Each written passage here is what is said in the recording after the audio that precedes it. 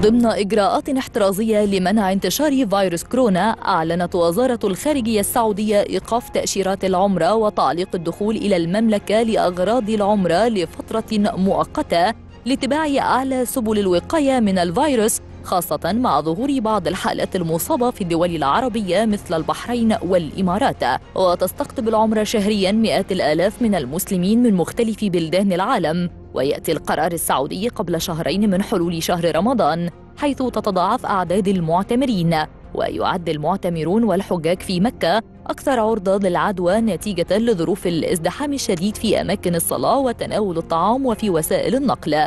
كذلك علقت السعودية استخدام المواطنين السعوديين ومواطني دول مجلس التعاون لدول الخليج العربية بطاقة الهوية الوطنية للتنقل من وإلى المملكة.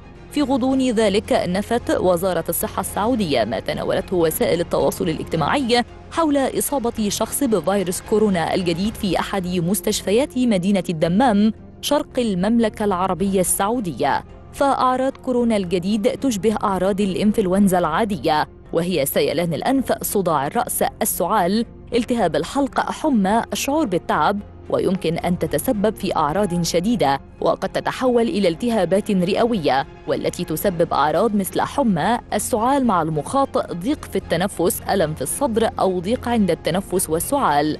وتعد الالتهابات الحادة أكثر شيوعاً عند الأشخاص المصابين بأمراض القلب أو الرئة أو الأشخاص الذين يعانون من ضعف في جهاز المناعة والرضع وكبار السن وعادة ما تنتشر فيروسات كورونا من شخص مصاب إلى آخر عن طريق الهواء عن طريق السعال والعطس والاتصال الشخصي مثل اللمس أو المصافحة ولمس كائن أو سطح به الفيروس ثم لمس فمك أو أنفك أو عينيك قبل غسل يديك.